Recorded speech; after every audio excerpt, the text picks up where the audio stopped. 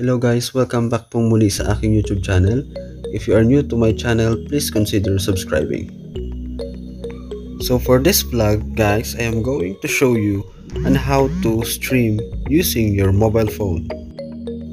So first to start, we're going to open YouTube app. And then on your YouTube app, click the plus sign and then choose go live. So since we want to share our screen, you have to tap on the arrow on the upper side.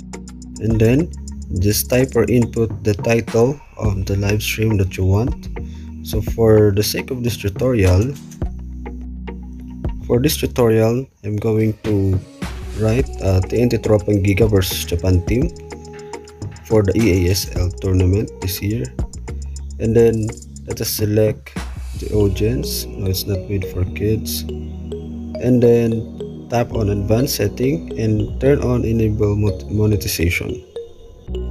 You can also add description for your live stream. So for this let's have this description for my sample live stream.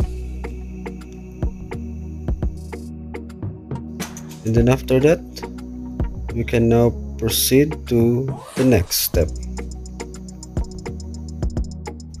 Now, if you want to make your live stream catchy, you have to personalize and upload thumbnail.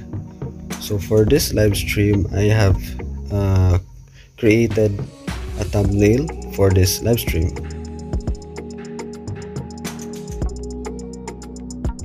Now choose the image that you want as your cover or thumbnail for your live stream. And then for this, just choose landscape and then tap on next. Just continue by tapping on Garrett and then after that we're going to tap on start now. Just one more step and you are good to go. Take note that before starting your live stream, you have to double check if you want your face to be seen or if you want to turn off or turn on the comment section.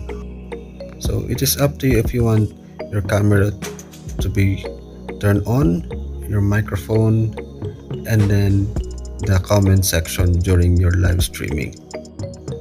You can now start your live streaming using your mobile phone through screen sharing. Hope you learned something and God bless you all.